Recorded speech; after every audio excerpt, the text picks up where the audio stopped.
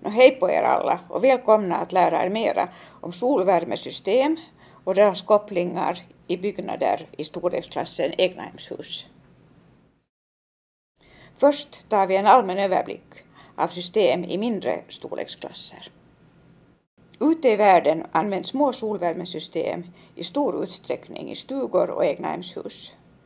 Kostnaden för att investera i systemet är rimlig och med hjälp av systemet kan man spara i produktionen av varmvatten. I vissa fall kan man med systemet även producera energi för uppvärmning, till exempel golvvärme i tvättrummet. I små system för stugor och egnahemshus är fångarnas yta vanligtvis 4–8 kvadratmeter. Små system kan ha fri cirkulation där man sparar in pumpens och reglagets pris. Vanligtvis installeras utöver dem ursprungliga ved eller oljepannor eller någon annan beredare och också en beredare för solvärmesystemet som kan kopplas så att den endast värmer vattnet.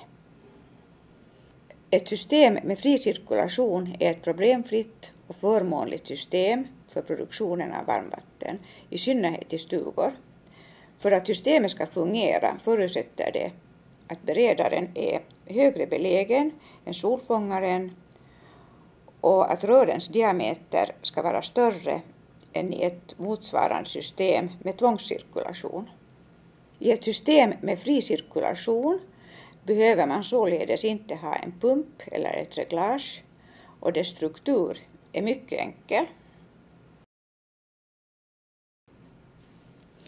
Vanligtvis installeras system med tvångscirkulation i egnahemshus.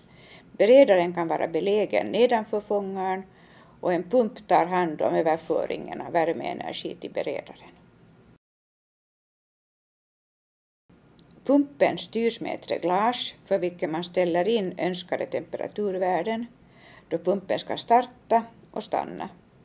Pumpen och reglaget höjer investeringskostnaderna men däremot är det enklare att sammanställa ett större system och man har större frihet att placera komponenterna då man inte behöver uppfylla förutsättningar för fri cirkulation.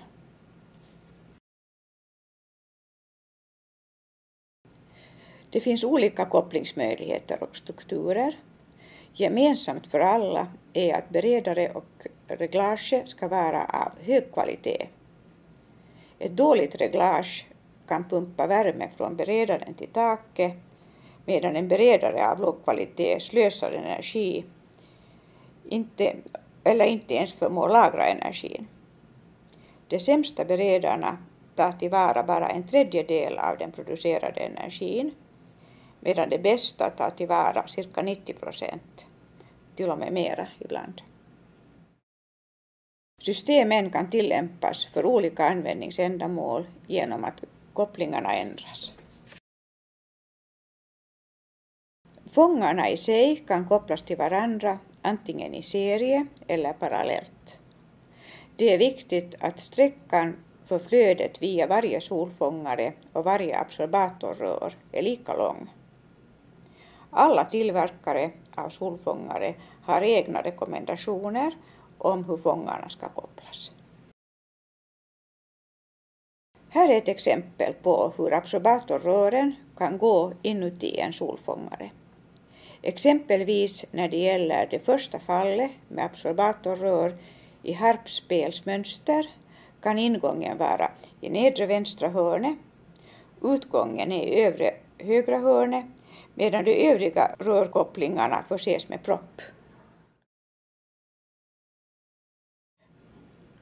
Solfångarnas ståsar kan ha spiral eller endast rak rörstås. Således kan man tillämpa flera olika kopplingar.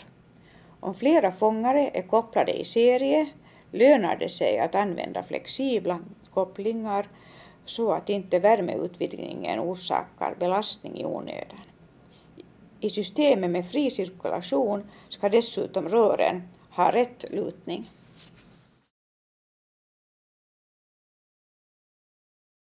Det finns flera olika varmvattenberedare. En del har endast en värmeväxlare, andra har flera. Värmeväxlarna kan vara belägna på olika höjder i beredarna och beredarna kan kopplas parallellt eller efter varandra. Antalet värmeväxlare och deras läge påverkar beredarens användningsändamål och egenskaper, bland annat i fråga om skiktladdning. En beredare kan således laddas och urladdas från skikt med olika temperatur i en viss ordning.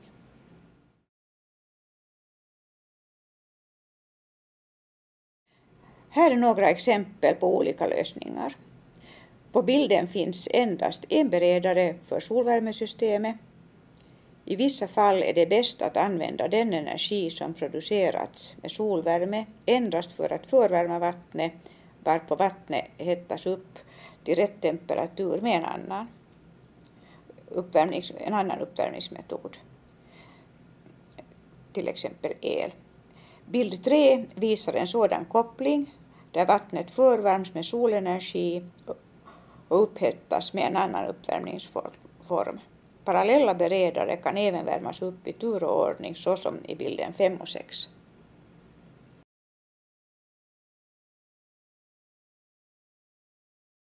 Liksom med bruksvatten kan solenergi utnyttjas också för, för förvärmning av uppvärmningskretsen.